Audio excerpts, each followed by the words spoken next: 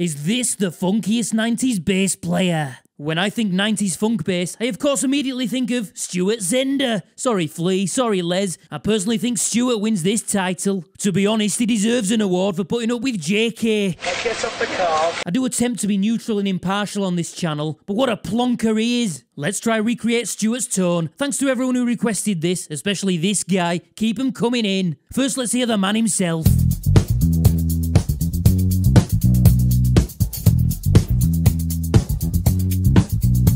So I went for a jazz bass, both pickups on, tone off, into an Aguilar Sim, mids and treble all the way down. This one's about the lows. I added a high pass filter and boosted some more lows and lower mids, and then crushed it a bit. And here's how it came out. Don't dig in too hard and don't forget to hit subscribe or follow.